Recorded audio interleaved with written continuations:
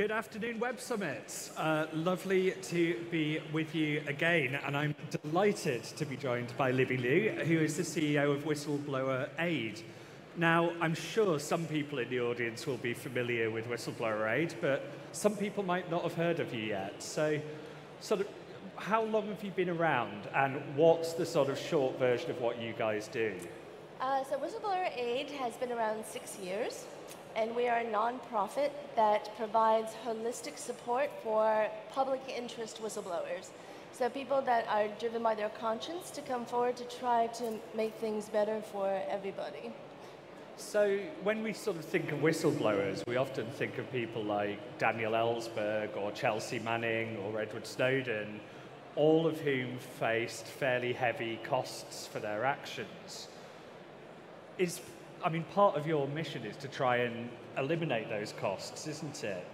Sort of, how do you go about doing that?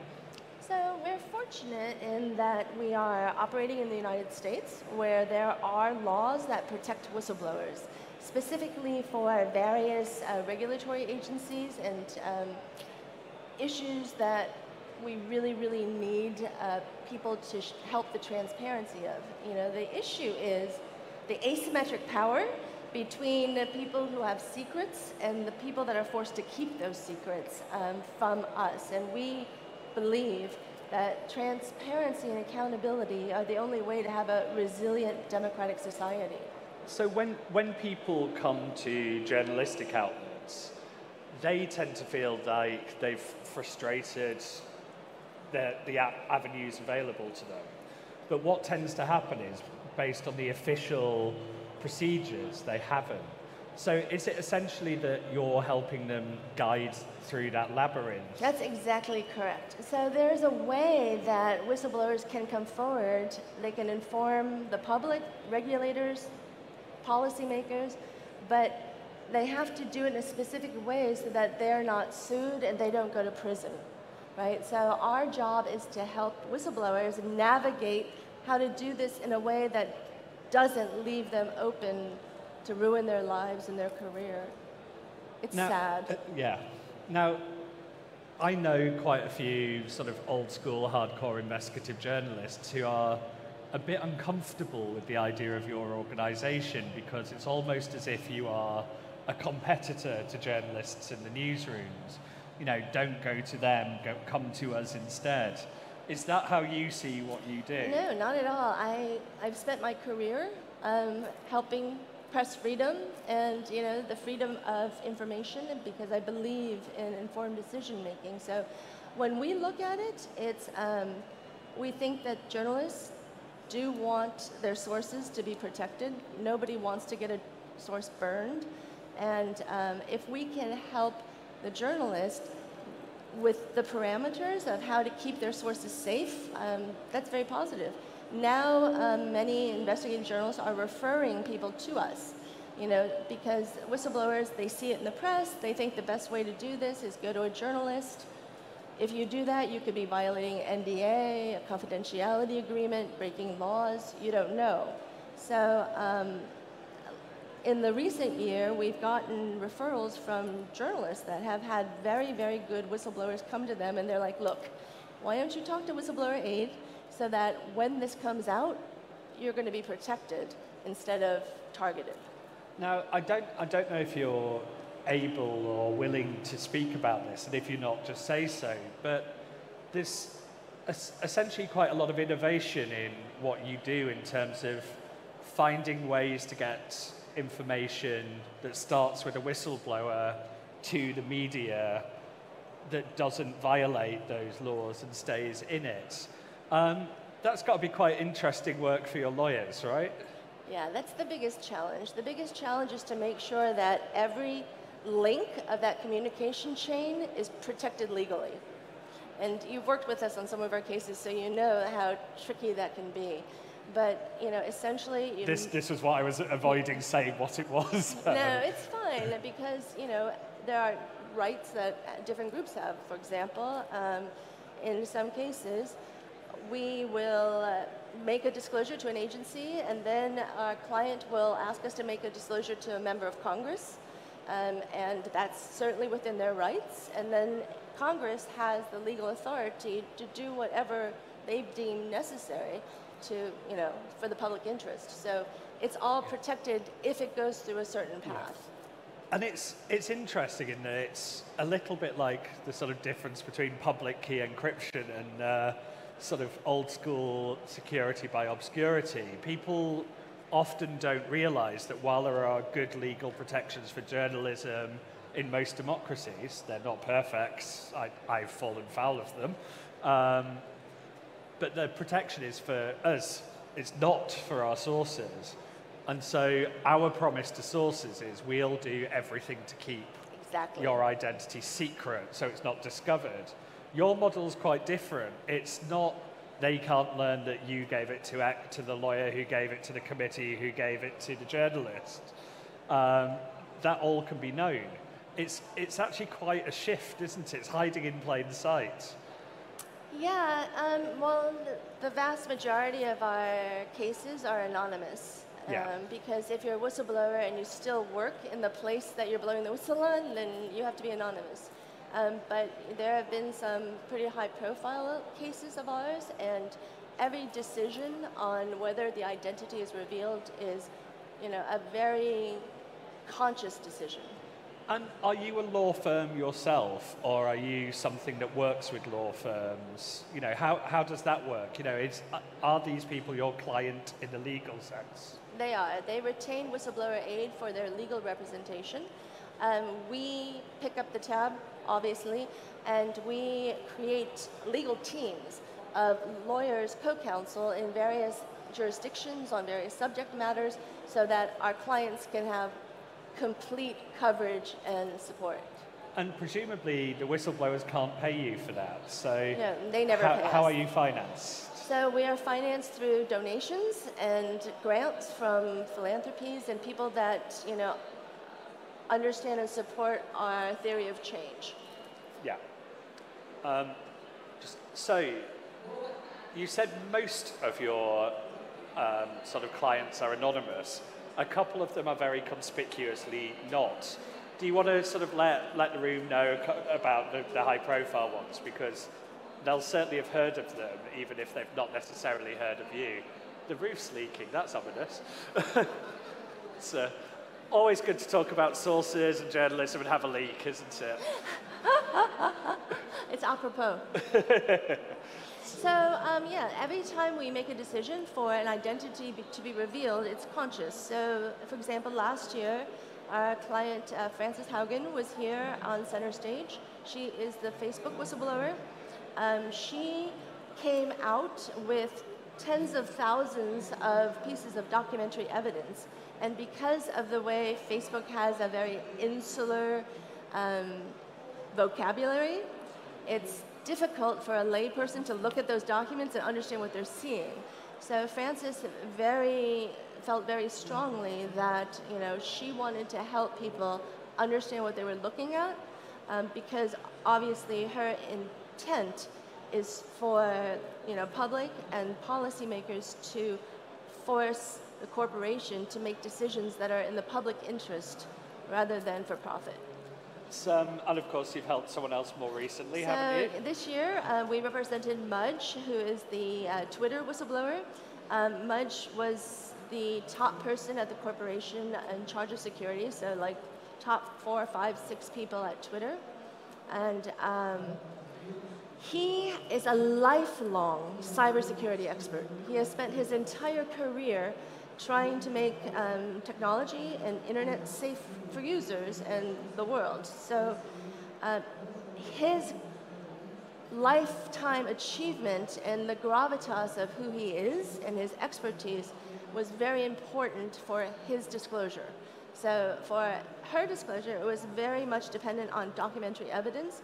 For his disclosure, it was very much based on his expertise and his knowledge. Some people sort of often misunderstand with document leaks. They sort of almost think you have a pile of documents and that's an easy story. And, you know, for example, so with, with the Snowden stuff, it was like reading an operating manual in a foreign language because you didn't just have the technical talk, which you know, we had some specialist reporters who were quite good at that, but all of the program code names that they all reference. And what, you, what we found with that was we couldn't go to any experts. Uh, you know, you couldn't go to retired people even if they were sympathetic, because they essentially said, if I read that, I'll lose, at a minimum, I'll lose my security clearance Exactly. forever. And so, you, especially when things start touching classified, you hit a whole new level of complication, don't you? Have, have you had to deal with that for something where you intended, or the client intended it to reach the public yet? Um, so we have had cases where there's a top secret element or something that is very Im- important to be kept uh, quiet for national security reasons, and then a public portion which, you know, could be informative to, you know, the general public and public discourse. You personally have had quite an interesting career, haven't you? You haven't just sort of always been in law, if people are thinking of that. You've sort of done media, you've done tech. What's sort of your journey? Does it, does it feel like a linear journey for you or like you've hopped around? Well, everything is related. You know, more and more in the world, everything's related. So I identify as a human rights activist. Um, obviously, you know, at Radio Free Asia, for 16 years, we were bringing news and information into censored environments, authoritarian countries. And if you look at it from this lens, every one of those sources, those stringers, those video journalists, those are all whistleblowers.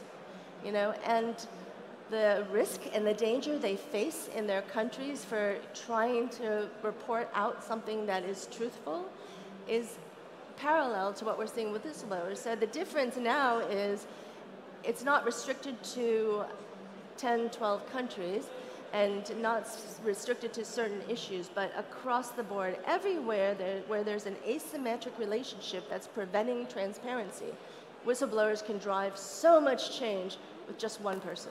And so let's, let's go to the missing link between Radio Free Asia and where you are now, which was uh, the Open Technology Fund. Um, I mean, you founded that, didn't you? Um, you know, what, it's about 10 years ago now, is that about right? 11 some years ago. And so and this grew out of that need to try and get accurate information out, try and stop censorship.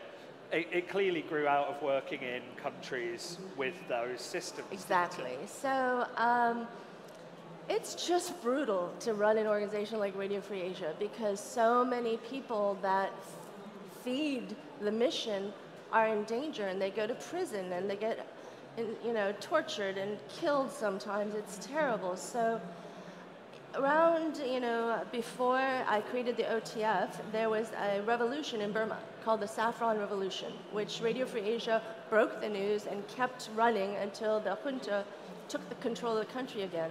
At that time every single person we talked to was sent to prison using transcripts of the phone calls made to radio free asia journalists so that's the moment where I was like, look, we got to do something different here. We have to be able to protect people's digital lives, or their real lives are going to get impacted. So uh, we created the Open Technology Fund, which is also a nonprofit. It receives funds from the US government and finances technology, open source technology that can be used in all of these communities around the world to protect normal people. So the idea at the time was there were super, super great things that were going on, like Tails and Tor, etc. But a normal person living, you know, in a village in Burma could never benefit from that. So the Epi- Epi- Open Technology Fund was meant to create, you know, very easy to use technology that could be scaled and translated into 200 languages so that people anywhere who need digital security could get it. There was quite a lot of experimentation, wasn't there? It was. Um, I, I find that interesting because I think it joins up its different approaches to the same goal. Is it media? Is it law? Is it tech? But you know, you, you experiment. I think you had a hand in creating Signal indirectly. Is that right? But then things like mesh networking and ways of looking at remote internet for places. Uh, there was there was some quite sort of out there. You know, there were some bets that were very likely to fail, and I'm sure it's many that did.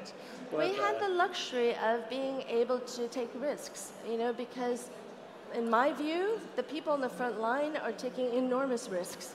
And the least we can do is try to make their lives safer.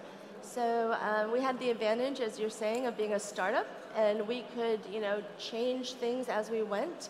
And you know, some of the most important things that the Open Tech Fund has done are based on things we discovered, like the localization lab. We realized that it was impossible for Tor to pay for Tor to be translated for all the communities that need to use it. So we created, you know, something called the localization lab that used crowdsourcing to enable this kind of rapid translation, especially surge. So if something were happening yeah. in the Ukraine, we could do a surge of translations in and that you language. can tap into people wanting to do something where they don't have more direct skills, which exactly. Is, so is we tried cool. to build a framework and infrastructure that pushed success for the individual, you know, developer that had a great idea about how to help people.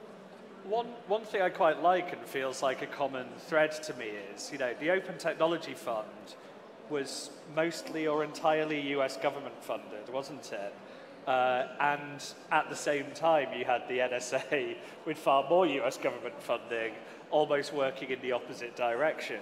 Sort of similarly, you know, this is trying to use US laws and structures that are often designed to support state power against it. There's, you know, when you yeah, talk about power asymmetries, it, it feels a bit judo-ish as an approach. Yeah, it was very, very tricky, and there have been many moments during the OTF's initial years where the FBI or the Justice Department or the NSA, other US government aspects were not thrilled by what we were doing.